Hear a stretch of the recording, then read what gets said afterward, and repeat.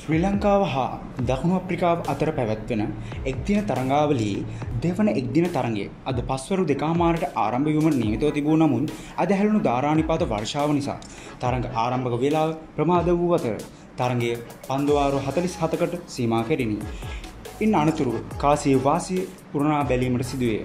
එහිදී කාසේ වාසිය දකුණු අප්‍රිකානු නායක කේශව් මහරාච්ච හිමිවූ අතර ඔහු පළමෙන් පන්දුවට පහරදීමට තිරුණකය ඒ අනුව ශ්‍රී ලංකා කණ්ඩායම කිසිදු වෙනසක් සිදුවී නොතිබූ අතර ඒ අනුව ශ්‍රී ලංකා කණ්ඩායම වන්නේ අවිස්ක ප්‍රනාාන්දු මිනොත් බානුක බානුක රාජපක්ෂ දනන්ද ශිල්වා චරිත් අසලංක දසුන් ශානක වනදු හසරංග චාමික් කවුනාරත්න අකිල දනන්ජේ දුස්මන්ත චමීර හා ප්‍රවිංජය වික්‍රමයි.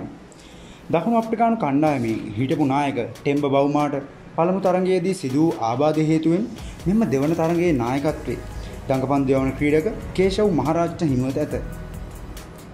දකුණු අප්‍රිකානු පිළේ වෙනස්කම් කිහිපයක් සිදුව තිබූ අතර ඒ අනුව කණ්ඩායම වන්නේ මාලන් මැක්‍රම් හෙන්ඩික්ස් වැන්ඩඩුසෙන් ක්ලාසන් වියන් මෝල්ඩ මහරාජ් රබාඩා ජෝජ් ලින්ඩි හා ටැබැසම්සිය. ඒ අනුව ටෙම්බ බෞමා වෙනුවට සුපිරි පිතිකරු හෙන්ඩික්ස් කීඩා කරන අතර නොට්කියා වෙනුවට ජෝජ් ලින්ඩි කැඳව ඇත. කයිල් වෙරීසින් වෙනුවට වියන් මෝල්ඩද එක්කරගෙන ඇත. මෙම තරගේ පසරු හතරට ආරම්භවන අතර මෙම තරගේ සියලු විස්තර විස්තරාත්මක ඔබ වෙත ගෙනීමට එස්සල් ෆන් සොන අපි අත් සූදානම්.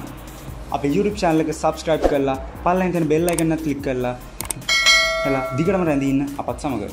ඔබට ජයග්‍රාහී දවසක්.